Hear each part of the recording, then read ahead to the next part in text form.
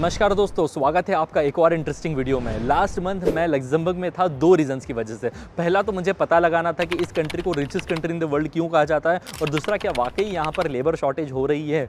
तो यही रियलिटीज़ आज इस वीडियो में शेयर करने वाला हूँ। जो लोग नहीं जानते हैं लग्जमबर्ग के बारे में लग्जमबर्ग कंट्री जो है यूरोपीय और शेंजन देश है, काफ़ी स्मॉल कंट्री यहाँ की पॉपुलेशन भी सिक्स पॉइंट सिक्स लैक्स है। और इंटरेस्टिंग फैक्ट ये कि आधी पॉपुलेशन यहाँ की जो है फॉरेनर्स की होगी। तो फॉरेनर्स का काफ़ी स्कोप हो जाता है इस कंट्री में। और इस वीडियो में हम जानने वाले स्पेसिफिकली कि आपको लग्जमबर्ग क्यों मूव होना चाहिए?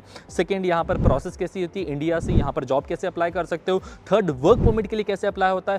फोर्थ वीज़ा के लिए कैसे अप्लाई होता है? और सैलरी टैक्सेशन लिविंग एक्सपेंसेस हाथ में कितना बच जाता है इतनी अमीर कंट्री के बाद में? तो सबसे पहले अगर हम बात करते हैं कि यार यहाँ पर आपको क्यों आना चाहिए तो फ़र्स्ट रीज़न इसकी कहा जाता है वर्ल्ड की रिचेस्ट कंट्री तो वाकई में है। अगर मैं इसे और यूरोपियन देशों से कंपेयर करूँगा तो यहाँ की सैलरी का स्ट्रक्चर जो है आपको ज़्यादा मिलने वाला है। और इसी से मेरा सेकेंड पॉइंट आता है कि हाई सैलरीज अच्छा यहाँ पर अगर हम सैलरी की स्पेसिफिकली अमाउंट ही बता दूँ तो यहाँ पर पर ईयर एवरेज जो सैलरी मिलती है, वो फोर्टी एट थाउज़ेंड यूरोज़ की होती है। मतलब अगर मंथली में देखें तो four thousand euro Indian rupees में साढ़े तीन लाख रुपये वाकई में ये सैलरीज यहाँ पर है, ये मान सकते हो आप। अब, अगर हम अनस्किल्ड की बात करें मिनिमम लेवल पर अगर सैलरी की बात करते हो कि यार हमें तो तू ये बता दे दीपांशु कि कम से कम कितनी मिलेगी। तो कम से कम में अगर आप जो है अनस्किल्ड हो तो twenty five hundred euro per year per month मिल सकती है। और अगर आप स्किल्ड हो और कम से कम की बात कर रहे हो तो three thousand euro per month मिल सकती है, ये अमाउंट है। अब सैलरीज तो मैंने बता दी। अब आप बोलोगे, इन हैंड कितना होता है? यही सबसे इंपॉर्टेंट फैक्ट यहाँ पर होता है।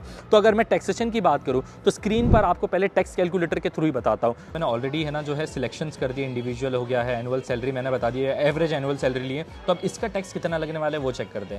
तो ये देखो 24.4 परसेंट आपका टैक्स लगने वाला है। अगर 48,000 यूरो की सैलरी हुई पर एनुअल तो आपको 36,000 के आसपास आपका इन हैंड आपको मिलने वाला है। अब इसके बाद ही कैलकुलेशन हम लगाएँगे लिविंग एक्सपेंसेस के जो कि हम फॉरवर्ड आगे इस वीडियो में बात करने वाले हैं। और क्या रीजन हो सकते हैं? स्पाउस को लेकर आ सकते हो यहाँ पर जो है पब्लिक ट्रांसपोर्टेशन फ्री होता है। शेंजन देश है तो इसी रेसिडेंस परमिट की वजह जो है आप बेल्जियम घूम सकते हो। जर्मनी मतलब और जो सत्तावीस देश है उनमें अब तो दो और ऐड हो गए हैं तो उनमें भी घूम सकते हो। और यहाँ का वीज़ा रेशो काफ़ी हाई मतलब एक बार आपके पास जॉब ऑफ़र आ गया तो आपको वीज़ा की चिंता नहीं करनी पड़ेगी। एम्प्लॉयमेंट रेट भी यहाँ पर जो है 4.9 परसेंट है तो काफ़ी रीजन है जिसकी वजह से आई वुड सजेस्ट कि यहाँ मूव होने लायक तो है लग्जमबर्ग नाउ अगर हम जो है जॉब कैसे फाइंड करी जाती है, उसके बारे में बात करें इंडिया से या किसी भी नॉन यूरोपियन कंट्री से तो उसके पहले हम समझते हैं कि क्या वेज हो सकते हैं। एक तो वेबसाइट्स हो सकता है और एक रिक्रूटमेंट एजेंसीज हो सकता है। लेकिन उसके पहले जानना है कि भाई किस फ़ील्ड में एक्चुअली में जॉब्स यहाँ पर अवेलेबल है। तो स्क्रीन पर देख पा रहे होंगे, ये 2023 का स्टैट्स है।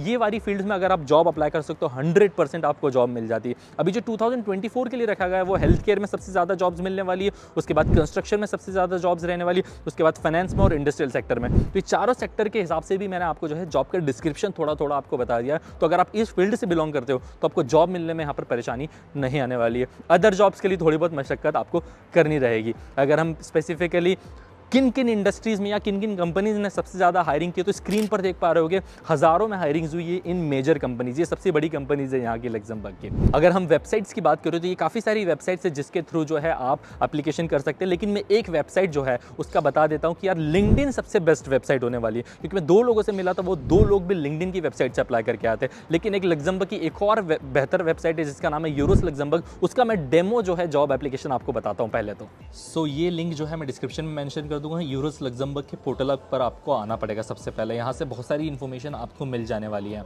जैसे यहाँ पर पहले आप सेक्टर सेलेक्ट कर सकते हैं, जिस भी सेक्टर से आप बिलोंग करते हो कॉन्ट्रैक्ट टाइप सेलेक्ट कर सकते हो कॉन्टैक्ट नेचर सेलेक्ट कर सकते हो एजुकेशन लेवल जैसे मैंने मास्टर सेलेक्ट कर दिया ऑलरेडी वर्क एक्सपीरियंस मेरे पास कोई एक्सपीरियंस नहीं है। तो बहुत सारी जॉब्स अकॉर्डिंग टू फिल्टर्स आपके पास आ जाएगी। और यहाँ पर मैंने ऑलरेडी लॉग कर लिया है तो आपको भी लॉग इन करना पड़ेगा। और लॉग इन करने के लिए आपको जो है सबसे पहले आपका सीवी चाहिए होगा, क्योंकि सीवी अपलोड करना पड़ता है जब आप लॉग इन करते हो तो। लॉगिन करने के बाद यहाँ पर फॉर एग्जांपल मैं ये अमेजन में ही देख लेता हूँ। तो यहाँ पर देखो रिक्वायर्ड लैंग्वेज में इंग्लिश है विदाउट वर्क एक्सपीरियंस में है। पूरी डिटेल्स आपको मिल जाएगी आपके काम से रिलेटेड और यहाँ से है ना आप कवर लेटर बहुत अच्छा सा प्रिपेयर करवा सकते हो और उसके अकॉर्डिंग यहाँ पे अप्लाई कर सकते हो। तो C V should be align with the job that you are applying to और कवर लेटर का डिस्क्रिप्शन आप यहाँ से जो है थोड़ा बहुत कॉपी कर सकते हो। अच्छा फॉर एग्ज़ाम्पल अगर मुझे इसके लिए अप्लाई करना है तो यहाँ से अप्लाई क्लिक करेंगे। आठ डेज़ पहले की ये जॉब है और यहाँ से अप्लाई नाउ क्लिक करके फिर ईमेल वगैरह डाल के जो है अप्लीकेशन होगी। तो इस तरीके से बहुत सारी जॉब्स आपको मिल जाएगी जिनके लिए आप एप्लीकेशन करते हो। ये तो अमेजन की थी तो आपको अमेजन के पोर्टल पर ले गई।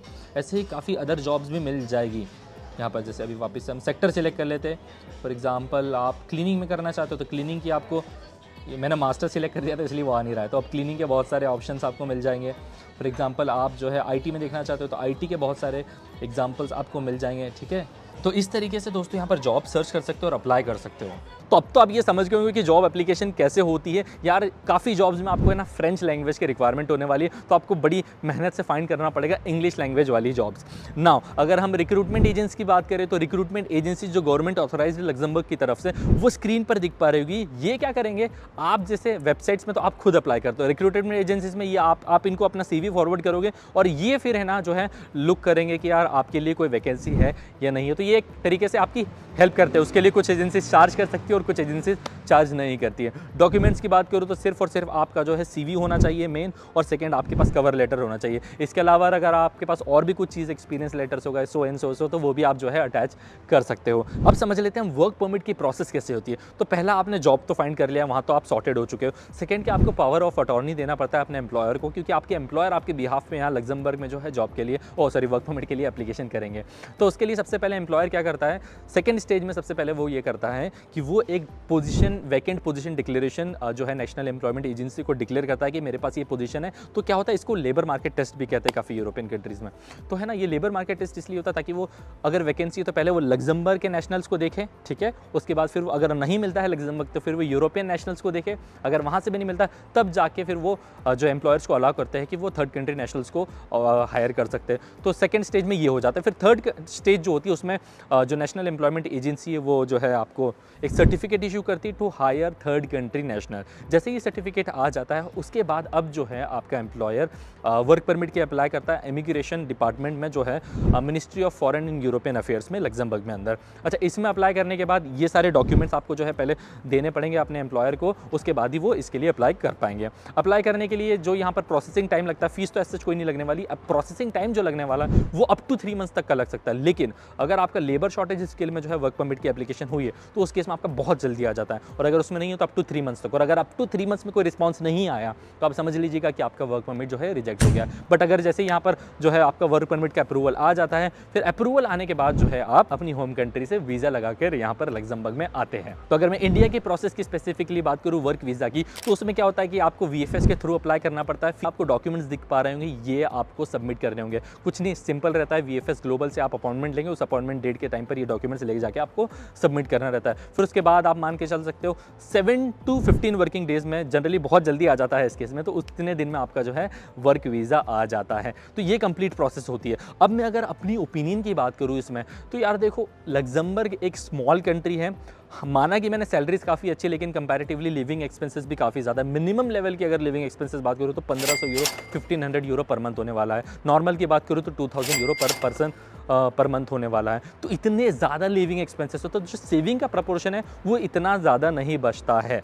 तो यहाँ पर हर एक देश की अलग अलग कहानियाँ हैं। तो उसके मुकाबले भी देखूँ तो ठीक है, उतना डिसेंट अमाउंट आप जो है यहाँ पर सेव कर सकते हो। और देश जो है ठंडा देश होने वाला है, ज़्यादा लोग नहीं होते तो है ना थोड़ा सा आप लोनली भी यहाँ पर फील कर सकते हो। और सबसे इंपॉर्टेंट यहाँ पर चार लैंग्वेजेस चलती है लग्जम्बरिश फ्रेंच जर्मन और इंग्लिश तो कहीं जॉब्स में जब आप ज़्यादा अप्लाई करोगे ना तो आपको दिखेगा कि यार फ्रेंच की रिक्वायरमेंट होने लग गई है। तो एक लैंग्वेज का छोटा सा बैरियर आपको यहाँ फेस करना पड़ेगा हालाँकि, लेकिन 50 परसेंट ऑफ़ द पॉपुलेशन यहाँ की इमिग्रेशन है तो इंग्लिश सभी को ऑलमोस्ट आती है। तो यही था दोस्तों आज का वीडियो जब मैं सारी लिंक्स जो है डिस्क्रिप्शन में मैंशन कर दूँगा तो वहाँ से भी आप इन्फॉर्मेशन और ज़्यादा चेक कर सकते हो और अगर कुछ डाउट आता है तो आपके पास कॉमेंट सेक्शन होता ही है।